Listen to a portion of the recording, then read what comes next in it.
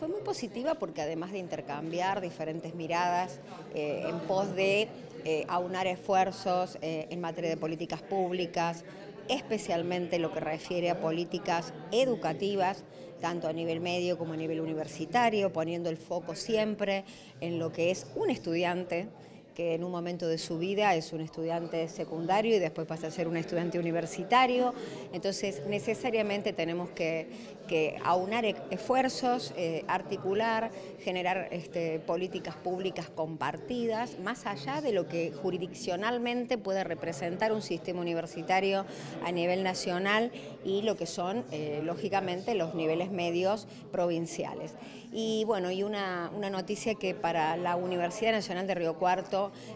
eh, es una gran noticia porque es algo que bueno, tenemos como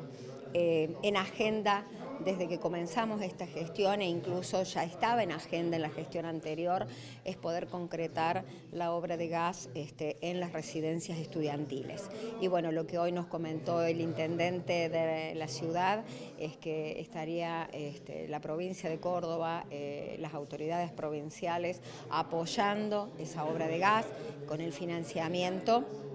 para que se pueda concretar próximamente. Recordemos que esto era un acuerdo que venía este, iniciado desde la gestión anterior, tanto de la eh, gestión anterior eh, del municipio de Las Higueras como la gestión anterior de esta universidad y que bueno, no pudo concretarse con este, el financiamiento nacional y bueno, este, que hoy nos hayan adelantado de alguna manera el anuncio en que estarían apoyando esta obra, creo que para la Universidad Nacional de Río Cuarto es un gesto eh, muy, muy valorable porque bueno, el fin de ese financiamiento tiene que ver justamente con la posibilidad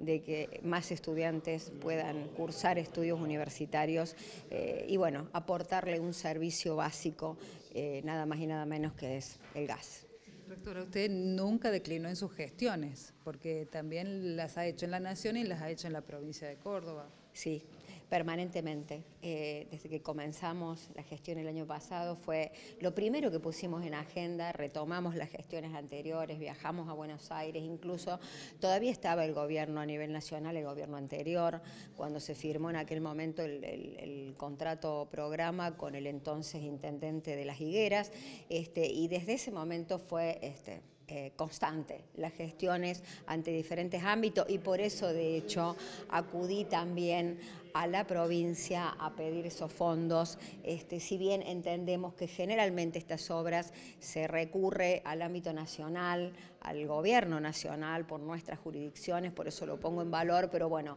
golpeé puertas, como quien dice, a nivel provincial, acompañado siempre también por,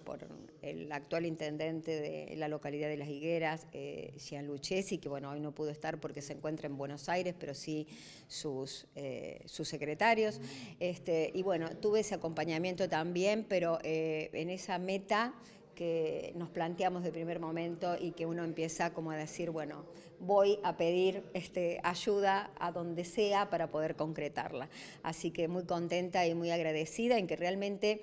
eh, se vea ese, eso que no tiene que ver con provincia, nación, nación, provincia, sino que miremos realmente a quienes son los destinatarios de las políticas públicas y que son los estudiantes, los ciudadanos. Así que muy contenta con eso. Bueno, es parte de un trabajo y una agenda común que tenemos con la universidad, eh, con la redactora, la vicerredactora, hemos venido con el secretario de Gobierno, Guillermo de Rivas, eh, también con el equipo del, municipio de Higueras, eh, con el secretario de Gobierno, y trabajando en una agenda común que tiene que ver con obras de infraestructura que habían sido solicitadas, comprometidas también por el gobierno provincial en esta decisión de, seguir trabajando articuladamente y mejorar en lo que son los servicios, como es el gas, que es una obra muy importante para nuestra universidad, y algunas otras agendas comunes que nos permiten trabajar eh, como lo estamos haciendo desde el primer día que asumimos, eh, y la verdad que se ha profundizado eh, en este último tiempo con este trabajo. Y justamente, ¿cómo están avanzando las gestiones para esta obra? de manera muy positiva porque la decisión que nuestro gobierno provincial ha asumido es precisamente en función de de esta necesidad que la rectora y el equipo ha planteado y que se viene gestionando en el marco del Gran Río Cuarto también, eh, así como se llega a los distintos barrios, también llegar a nuestra universidad. Y creo que es una necesidad y además una respuesta eh, que demuestra que trabajando en conjunto, gobierno provincial, gobierno municipal, Universidad Nacional, eh, los resultados eh, se pueden ver y pueden llegar muy próximamente. Así que seguramente ahora en, en el transcurso de la reunión va a haber novedades importantes y positivas. Además de estas mejoras en infraestructura, ¿están pensando en otros proyectos, en otras líneas de trabajo conjuntas? Sí, venimos trabajando en algunas políticas de extensión que tienen que ver desde lo social, lo educativo, en un trabajo mancomunado también con nuestro municipio que nos permite llegar con distintos programas que llegan al territorio, que llegan al barrio y que nos dan en el soporte de los recursos humanos,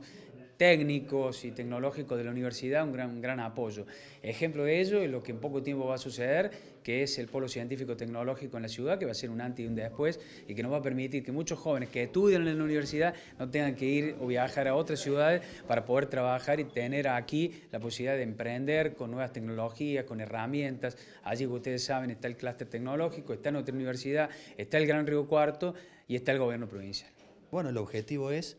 eh, una obra de gas, ¿sí? Eh, que se firmó un convenio hace, hace, un tiempo, que la Nación se había comprometido a hacer una obra de gas y bueno, no, no, no se llevó a cabo, entonces este, por gestiones conjuntas entre el municipio de Las Higueras, el municipio de Río Cuarto, eh, le trasladamos a la provincia esta inquietud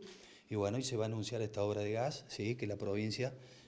va a emplear los recursos para, para, esta, para esta obra una obra eh, realmente esperada, de mucha importancia para toda la comunidad. Sí, la verdad que es una obra de casi 3.000 metros este, troncales de gas,